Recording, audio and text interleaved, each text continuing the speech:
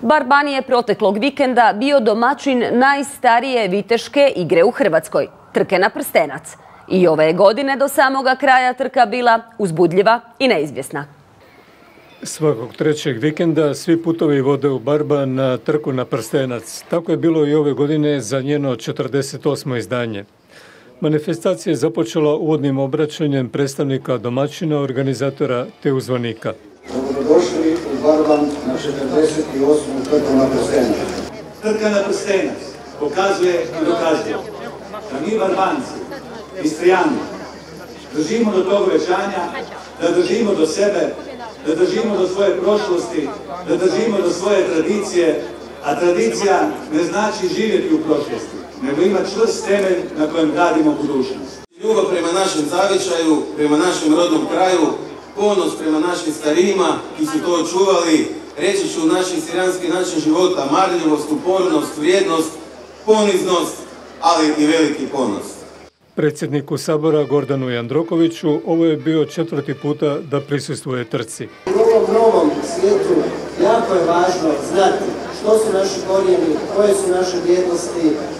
Moramo sve to prenositi na naše mlade, tako da mi drago jer sam vidio da se e, organizira jedna potraga za prstencom i u stvari djeca, mladi uče onome što su radili njihovi preci i to je jedna solidna osnova u kojoj možemo raditi u našoj budućnosti.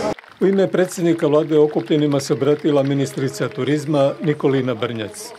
Trka na prstenac je odličan primjer manifestacije koja čuva povijest, čuva tradiciju, a usto stvara dodatni turistički sadržaj za Barban, za Istru i za cijelu Hrvatsku. Stoga trka na prstenac je nešto što je stavilo na turističku kartu svijeta i Barban, i Istru, ali i cijelu Hrvatsku. U ime pokrovitelja okupljenima se obratio predsjednik Republike Zoran Milanović koji je ujedno otvorio manifestaciju. Ovo vidim kao proslavu tradicije, kao proslavu ljudske vještine, ovih konjenika, ali i kao odnos čovjeka i ove plemenite i preproste životinje. Još jednom želim vam sve najbolje i proglašavam 48. trku na prstenac otvorenom. Živjeli! Nakon intoniranja himni uslijedilo je predstavljanje konjanika koji se svake godine bistroga oka i mirne ruke bore za titulu slavodobitnika. Gospodine predsjedniče časnog suda, 16 konjanika spremno je za 48. obnovljenu trku na prstenac. Dozvolite da trka odpočne. Neka trka odpočne. Hvala.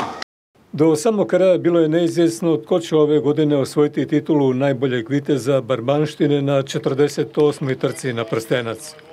Pobjedu na Barbanskom gradišću izborio je Daniel Broskvar s ukupno 8 bodova, dva punta u prvom trku, a u sridu je pogodio u sljedeća dva trka te osvojio ukupno 8 bodova.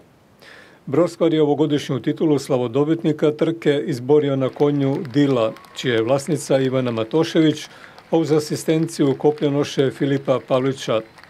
Slavodobitnik trke na prstenac dobije nagradu koju je osigurala tvrtka Rudan i to u iznosu od 5000 eura. Inače, trka na prstenac danas je zaštitni znak Barbana, jedna od najpoznatijih ljetnih manifestacija u Istri. Najstariji sačuvani zapis o trci datira iz 1696. godine, kada je slavodobitnik trke bio Otavio Kvelis. Nakon 1703. godine gubi se pisani trag konječkih natjecanja u Barbanu. Trka na prstenac obnovljena je 1976. godine, otkad se održava svake godine, trećeg vikenda u kolovozu. Trke osim očuvanja tradicije i kulture postala je prava atrakcija koja objedinjuje konjaništvo i sportski duh. Ova je konjička utrka zbog svog kulturnog i povijesnog značaja uvrštena na listu nematerijalne baštine Republike Hrvatske.